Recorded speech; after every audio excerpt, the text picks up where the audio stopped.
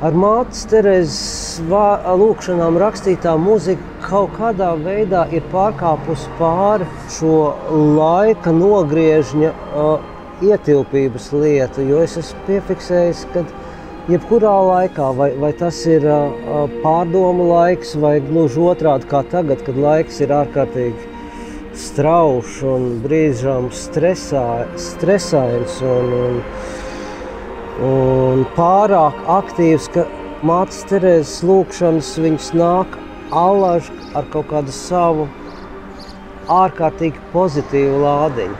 Un tā ir tā lieta, kas mums, manuprāt, šobrīd pietrūkst visvairāk. Šis miers un šī pozitīvā enerģija. Un Un mācīs Terēzes lūkšanas noteikti ir viens no tiem brīnumiem, kas izcero šo pozitīvo enerģiju. Tāpēc vēl jau būtiskāk, ka mēs šajā koncertā būsim kopā ar šīs mūzikas radītājiem, ar Mo Pērtu, Ēriku Ešenvaldu, Pēteru Vasku un Andreju Selītsku.